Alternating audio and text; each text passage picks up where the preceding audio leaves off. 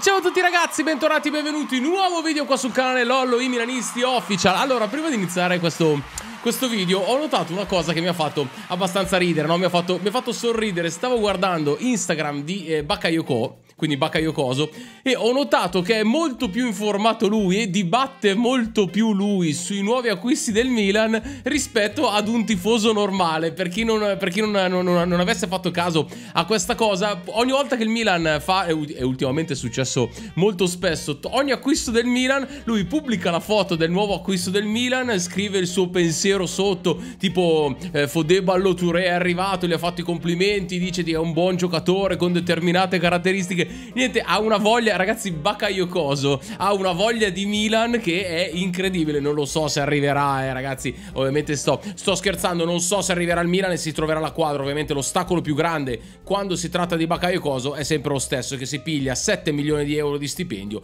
ed è, se non ricordo male, all'ultimo anno di contratto con, con il Chelsea. Quindi è ovvio, ragazzi, che il Milan per andare a prendere, ieri parlavamo di Pobega come quarto centrocampista, quarto, quinto centrocampista, devono essere giocatori, visto visto che comunque dobbiamo ancora andare a fare gli acquisti più importanti, che ricordo a tutti sono il trequartista, adesso abbiamo buttato le basi per quella che è la nostra squadra, quindi adesso abbiamo preso tutti i backup, abbiamo preso tutti i giocatori presi nel modo giusto, nel modo, ne, al prezzo giusto e nel modo giusto. Adesso vanno presi i giocatori più importanti, quindi il trequartista e l'esterno destro eh, di attacco, quello poi è un discorso un po' a parte. Quindi per chiudere il discorso su Bakayo Coso, l'ho trovato molto molto ferrato sul, sull'ambiente Milan e su tutti i giocatori che verranno, verranno, al Milan. Se poi lui, e chiudo, se poi lui verrà al Milan o non verrà al Milan, eh, si tratta solo di una questione one tra virgolette economica. Allora eh, volevo partire da questa cosa qua dopo andiamo in sigla. Vi parlo di questa cosa e poi dopo, poi dopo facciamo tutto un discorso. Oggi ovviamente parliamo anche di Caio George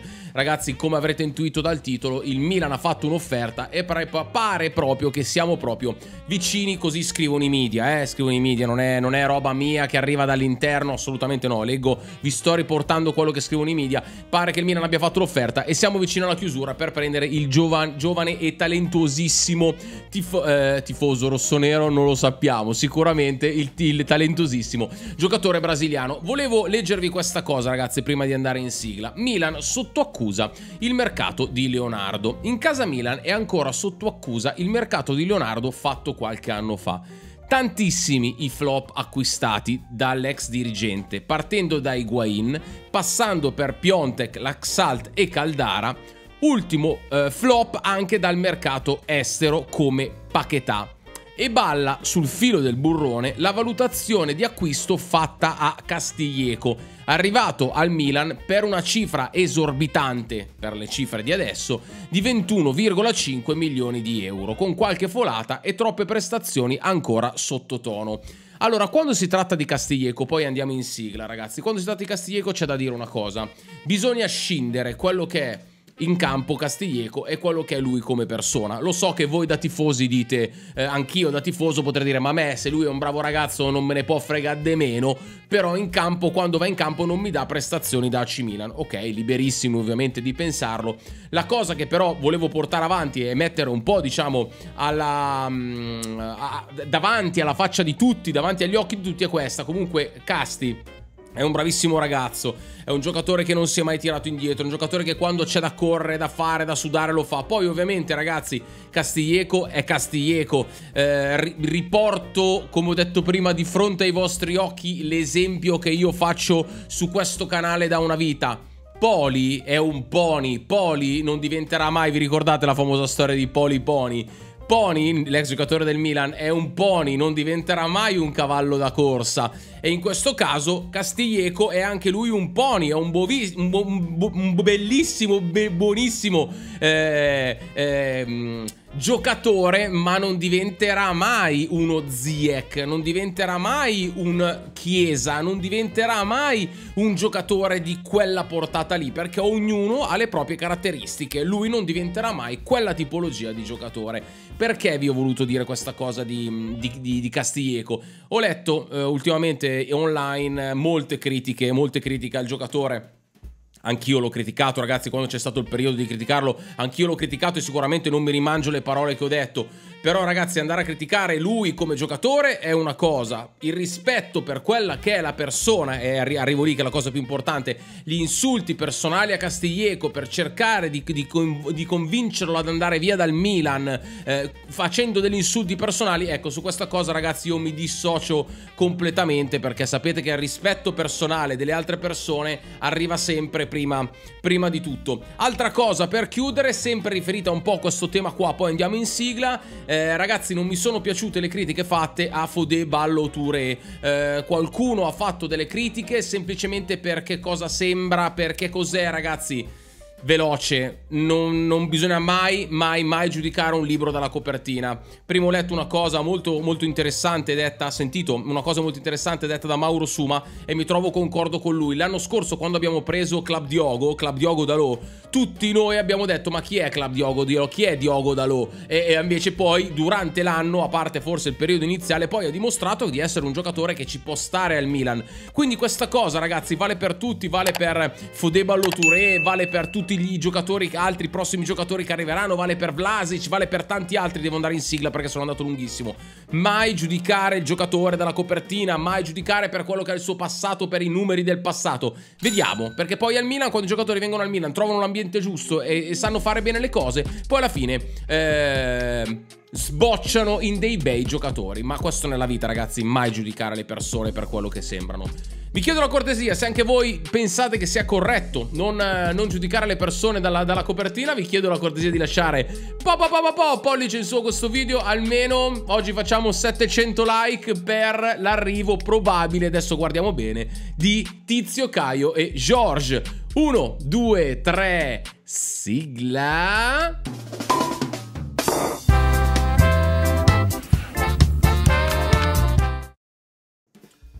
Oh, mi sono dimenticato di dirvi di iscrivervi anche al canale. Allora, Ehm, prima, una considerazione abbastanza veloce che è questa. Milan, Benassere e Tonali sono le eccezioni del mercato del Milan negli ultimi anni. La società rossonera ha deciso di rivolgersi all'estero per fare gli acquisti, perché ci sono meno tasse, più talenti e prezzi molto più competitivi.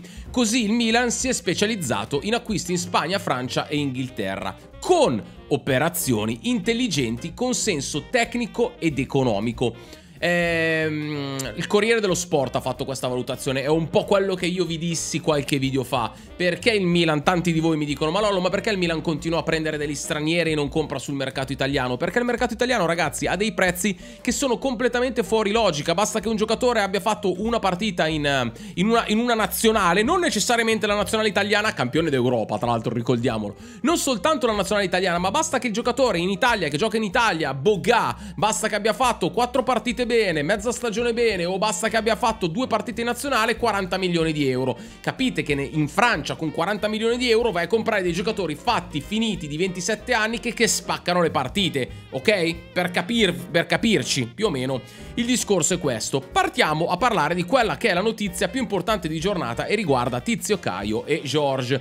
Caio Milan in pole si può chiudere a 6 milioni. Il Milan è in pole per Caio George. L'offerta formulata nella notte al Santos Santos è di 6 milioni di euro, vicina la chiusura.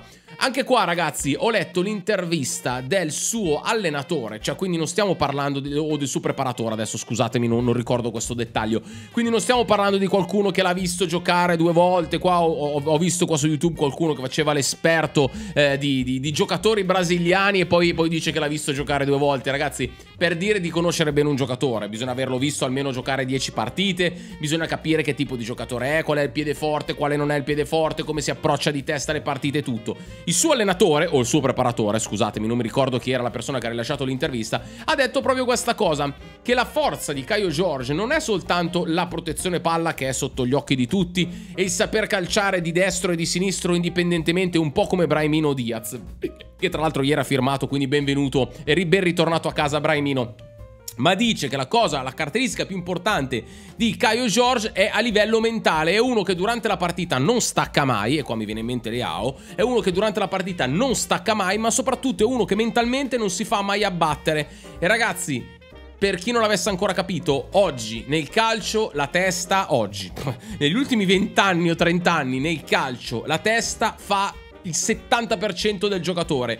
Tu puoi essere un giocatore fortissimo, ma senza testa non andrai mai da nessuna parte. Come puoi essere un giocatore mediocre o normale, ma con una testa che spacca le chiappe, tu diventerai un giocatore che può stare ad alti livelli. Non ho detto che diventerai un campione, però sicuramente potrai diventare un giocatore che può stare ad alti livelli. Mi viene in mente Gattuso, ragazzi, un giocatore che comunque tecnicamente era normale, mediocre, tendente al normale, via, diciamo così, ma con una testa, signori, che Gattuso se, se li mangiava tutti quelli che stavano intorno e gli, questa cosa gli ha permesso di stare in campo con Rui Costa, Sidorf, Kakà, Pirlo, Maldini, e che, che più ne innesta, Cafu, chi, chi, più, chi più ne ha più ne metta. Capito il mio, il mio, discorso, ragazzi? La testa fa il 70% dei giocatori e il fatto che il suo allenatore di Caio George dica che Caio, la, una delle caratteristiche principali di Caio, Caio George, non so poi come lo chiameremo, è, è questa qua, è una questione di testa, diciamo che mi fa abbastanza piacere, quindi spero che il giocatore alla fine venga al Milan. Ultimo discorso che volevo fare, ragazzi, riguarda Vlasic. Allora, ieri c'è stato un po' di casino.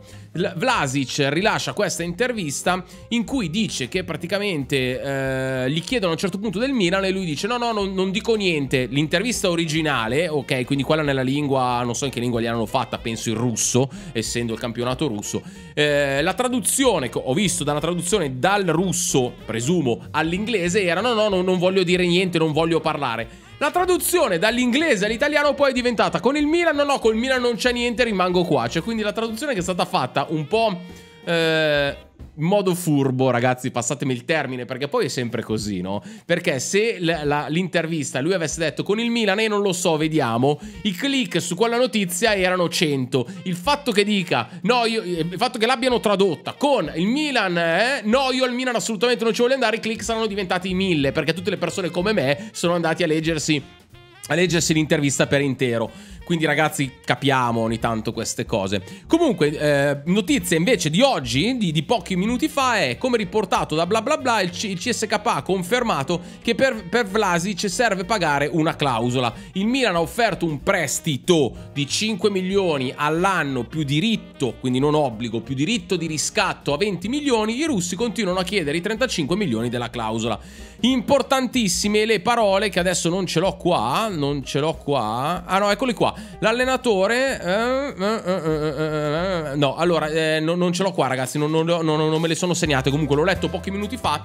Le parole del, ehm, del procuratore invece di Vlasic, notizia di pochi minuti fa, diceva proprio questo, che Nico, Nico, Nicolas, Nico, Nicola, non so come, come si pronunci, Vlasic vuole cercare un'altra squadra per alzare il proprio livello di calcio e il Milan potrebbe essere una valida alternativa. Fatemi sapere qua sotto che cosa ne pensate. Bene ragazzi, penso di avervi detto tutto in questo video, come sempre prima di chiudere non vi costa assolutamente niente, vi chiedo la cortesia di iscrivervi al canale, qua sotto trovate il tasto iscriviti, iscriviti e campanella. Ci mettete due secondi, non costa niente.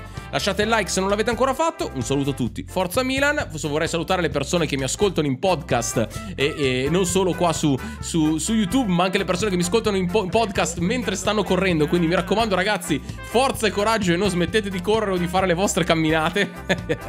un saluto a tutti, Forza Milan, ma soprattutto vada via Q l'Inter. Ciao ragazzi, ciao!